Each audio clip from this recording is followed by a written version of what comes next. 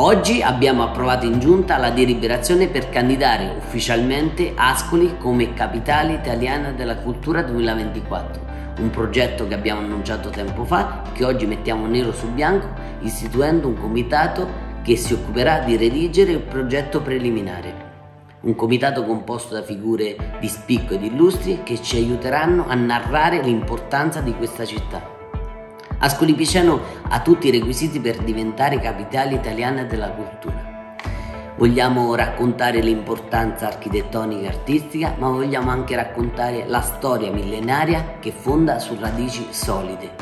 Vogliamo far emergere la vera vocazione culturale di Ascoli Piceno, coinvolgendo tutti e quindi eh, in primis i cittadini che saranno orgogliosi di vedere la propria città in lizza di questo importante riconoscimento, ma vogliamo coinvolgere tutte le associazioni culturali, tutti coloro che lavorano nell'ambito artistico e culturale e anche coinvolgendo tutti gli attori istituzionali, mettendo da parte la propria casacca di partito, ma mettendo al centro Ascoli Piceno.